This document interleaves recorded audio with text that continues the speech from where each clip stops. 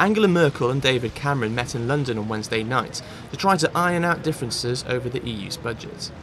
Mrs Merkel is prepared to accept a small increase, but Mr Cameron is demanding a real terms freeze, and he's threatened to veto any deal he thinks not in Britain's interests. The last time he used the so-called veto was in a negotiation of a fiscal treaty in Brussels in December 2011. And after he deployed that veto, his popularity in the opinion polls spiked upwards. So he has members of his government urging him to have more veto moments. They are really annoyed in Berlin, I think, that the British come into a negotiation like this threatening to veto even before they've got to the table. Vetoing a budget deal could lead to political gain at home, but playing to the domestic gallery could have long term consequences for Mr Cameron. The Prime Minister wants to renegotiate the terms of Britain's EU membership and claw back power from Brussels, and that will be difficult without friends in Berlin. I think David Cameron has a real problem in Germany with nobody actually has much sympathy for this idea that Britain could get yet more opt-outs in Europe.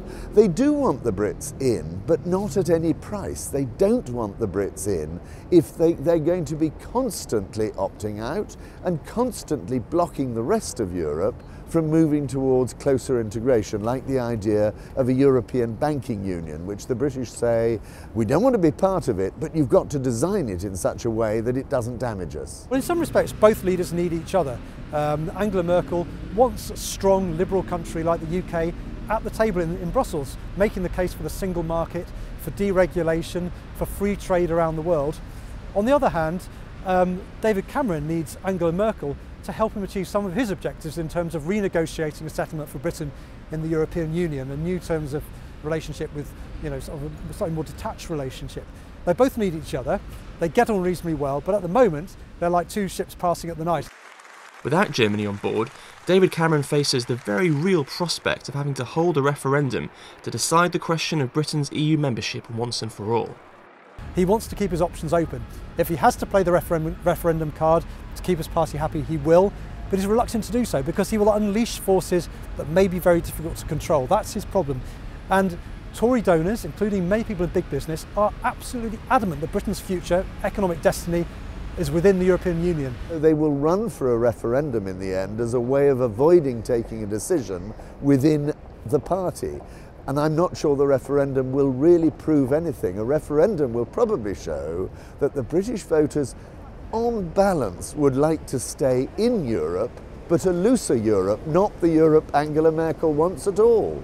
On the face of it, they should have a common outlook. They're both economic liberals, they're both conservatives, but on the other hand, they're facing in two different directions when it comes to the future of Europe. Angela Merkel believes that the answer to some of Europe's problems, particularly in the euro, is more Europe, David Cameron takes the opposite view. He thinks that this is an opportunity for Britain to disengage from some parts of the European Union it doesn't like. His, uh, his solution is less Europe. So they're pointing in different directions. So whatever the personal chemistry between the two of them, on policy terms, they're a long way apart.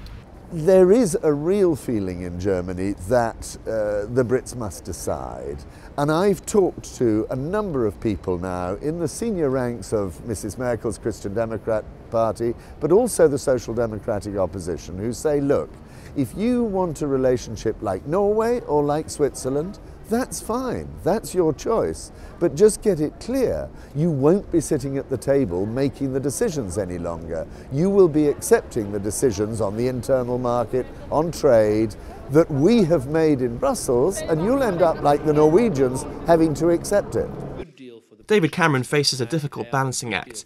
Talking tough on Europe can play well at home, but the issue has torn apart previous Tory governments.